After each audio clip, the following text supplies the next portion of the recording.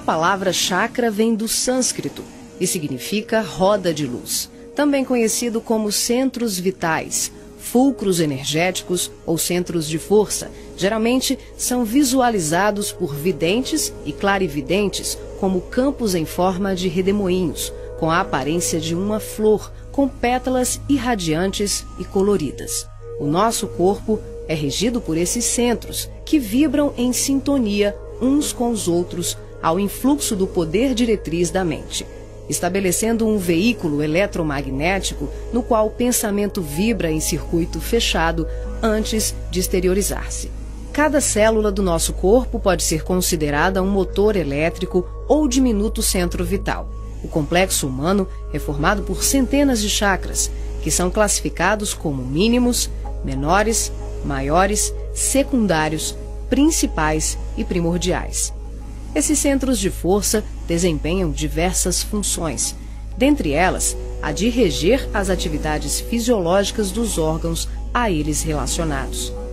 Levando em conta as várias escolas que estudam o tema, definimos como primordiais 10 centros: o coronário,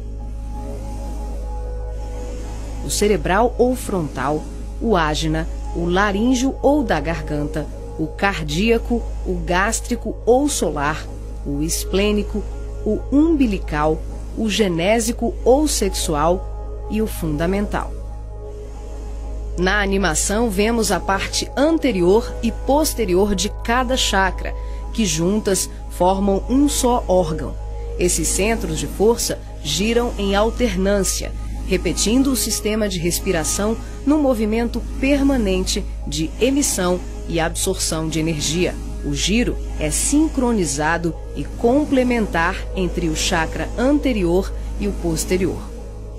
Os chakras são formados por microtúbulos, que são estruturas ocas, compostas por inúmeros blocos de moléculas idênticas.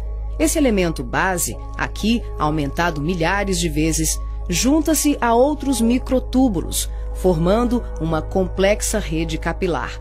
São microtúbulos menores que se inserem em microtúbulos maiores, num processo sucessivo. São justamente esses microtúbulos de diversos tamanhos que dão ao chakra a aparência de pétalas. Aqui vemos um exemplo dos microtúbulos maiores. E aqui, microtúbulos menores preenchendo os microtúbulos maiores.